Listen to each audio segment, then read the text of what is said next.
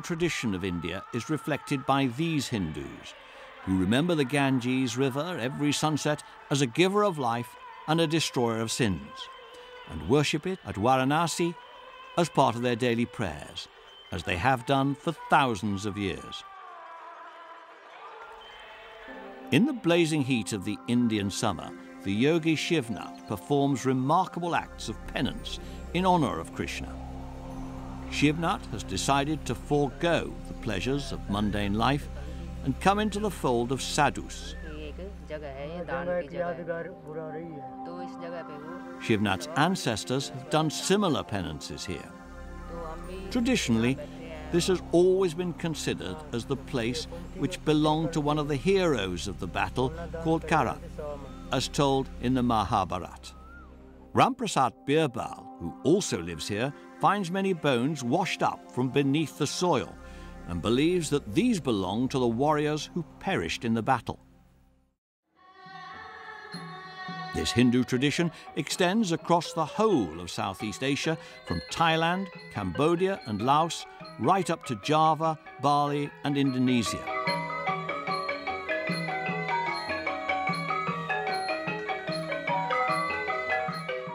Celebration of this living tradition of worship to Krishna is found in the most unlikely places. Here, in a dance studio in Leeds, Devika Rao, a dancer, performs in honour of Krishna.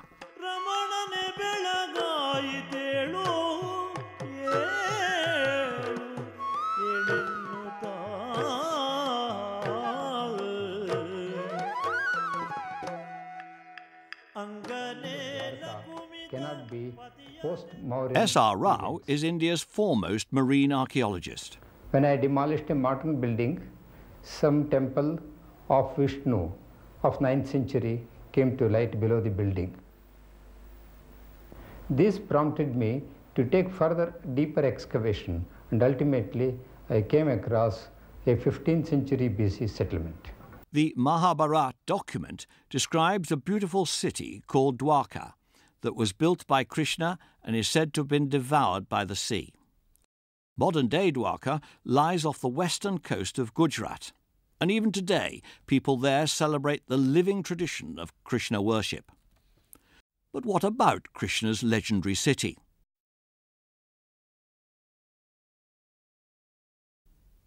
Recently, marine archaeologists from the National Institute of Oceanography discovered an entire city under the western coast of Gujarat near Beit Dwarka.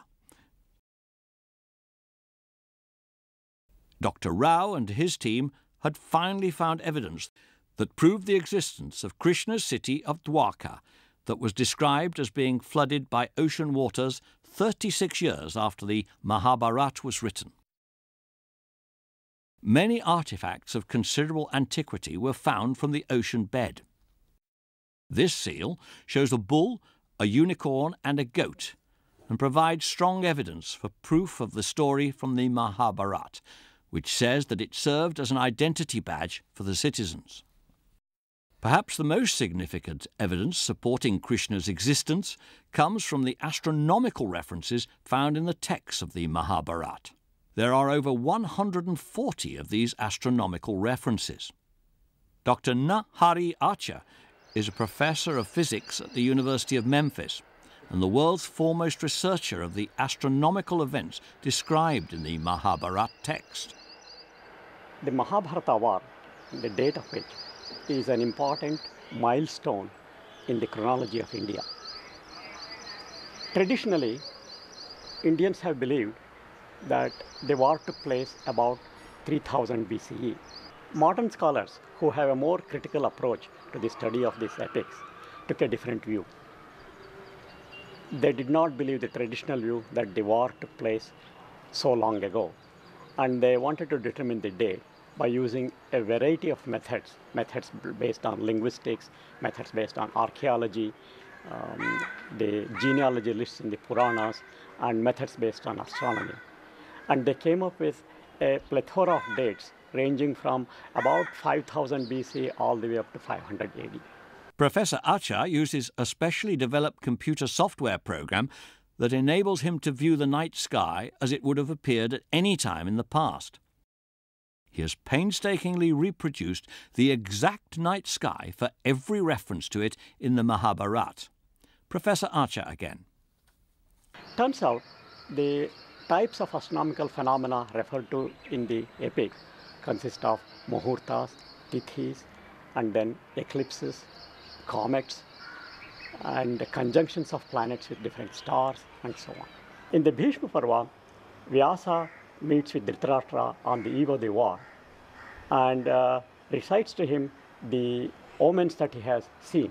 These omens predict the imminent war between the Pandavas and the Kauravas and the terrible events which will befall both the Kuru family and the general population. The most significant of these omens is the appearance of two fiery comets. People generally take the word graha to represent a planet, but Vyasa here specifically represents graha simply means that any object which can grasp a star and it can be a planet, a comet or an asteroid. Here he specifically says that it's a comet because grahau tamraruna shikhau prajwalitau ubhau. The two grahas with uh, blazing coppery red hair no planet has blazing coppery red hair, it's only the comets which have that. So Vyasa specifically uh, refers to Graha, in, in, comets as Graha. Then uh, I felt that uh, convinced that the verses in Bhishma Parva are really not incoherent, inconsistent, contradictory, but in fact they form a very consistent set. Professor Achar has identified further astronomical references in two of the books of the Mahabharata, namely the Udyoga and the Bhishma Parvas. Again, these were regarded as omens of imminent disaster. These were when Saturn was at Aldebaran and Mars performed a retrograde motion near Antares. Now, the astronomical events which are common to both Udyoga Parva and Bhishma Parva are these.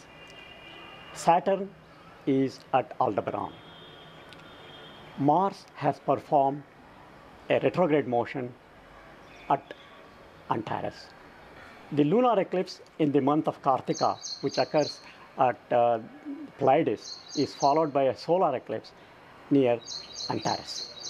So I searched for the years between 3500 BCE to about 500 CE a range of 4,000 years. In this, there are 137 such conjunctions where um, Saturn is at Aldebaran. Here we see Saturn's transit at Aldebaran. It is an event which is even today considered by Indian astrologers to be associated with great wars and violent events.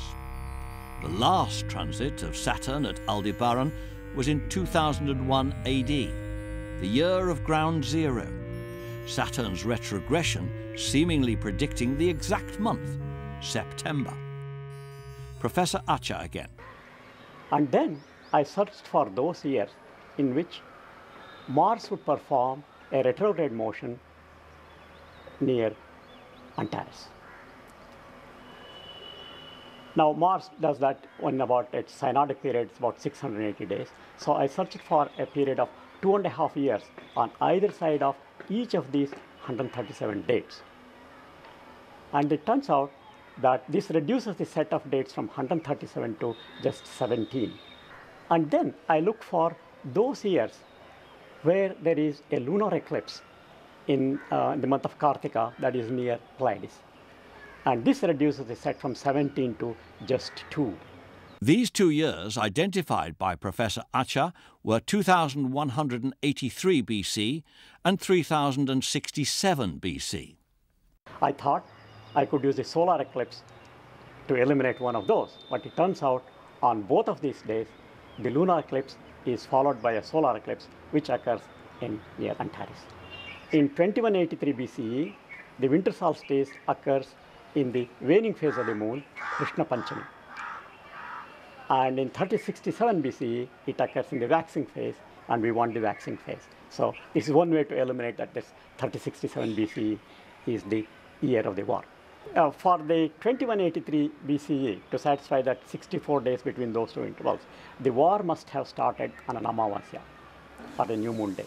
And we have definite information from the epic that the war did not start or could not have started on an Amavasya because on the 14th day of the war, they break all rules of war. The war continues into night and they break the break only when the moon rises and the wee hours of early in the morning.